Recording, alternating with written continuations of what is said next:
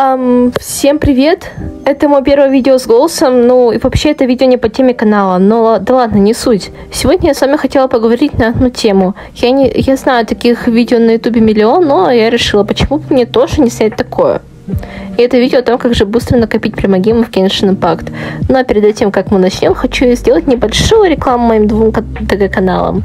На первом ТГ-канале я в нем выкладываю воспитапы песен, ну а второй я выкладываю в нем свою личную жизнь и разную инфу по Геншину. Я буду очень благодарна, если вы подпишетесь на них.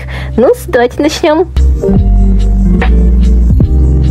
Итак, во-первых, Установите себе цель, на какого персонажа вы будете копить. Во-вторых, запаситесь терпением, чтобы не сливать все ваши драгоценные примагемы на ненужного персонажа.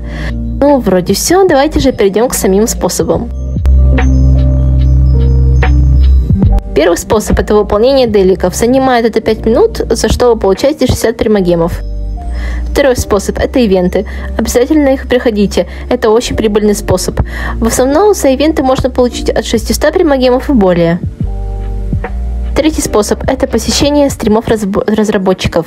Постоянно перед новым обновлением Hoverse проводит стримы, где показывают нововведения. И также на этих стримах дают три промокода. Каждый на 100 примагемов, но только они работают всего лишь день. Ну и плюс в начале каждой обновы нам дают 600 примагемов. Четвертый способ – это зачистка регионов. Это довольно нелегкий способ, но если вам надо быстро заработать нормальную сумму примагемов, то это способ для вас. Пятый способ. Он, правда, не подойдет не для всех, и это прохождение бездны. Два раза в месяц она сбрасывается, а в сумме за ее прохождение можно получить 600 примагемов. Шестой способ – это создание мира.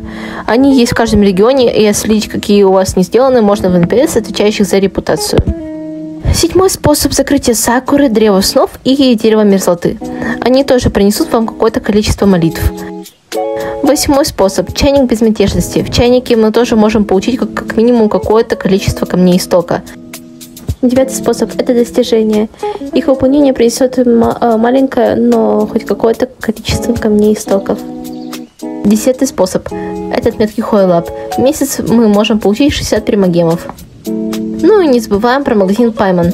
Там мы каждый месяц получаем 5 стандартных и 5 ивентовых круток. Вот такие вот способы, но это я еще не поминала о Луне и БП. Хоть эти способы оказались очевидны, но это видео направлено для игроков, у которых маленький ранг. Вот и все. Видео подошло к концу. Надеюсь, вам понравился такой формат видео. Если да, то напишите в комментариях. Ну, а на этом все. Подписывайтесь на мой канал, ставьте лайки и всем пока-пока. Чао-чао.